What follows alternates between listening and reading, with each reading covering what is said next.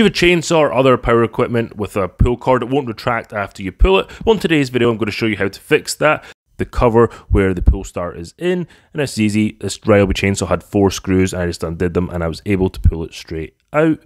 Before starting this next step, I do want to make sure the pulley still works. I'm just going to pull it out a couple of times, and there we go. It retracts with no problem at all. This leads me to think that the spring is weak. So I'm going to pull out the cord a couple of turns, and then put a little hoop into this notch in the mechanism here and rewind it once. This is what it's going to do is retighten the spring and make it a little bit tighter.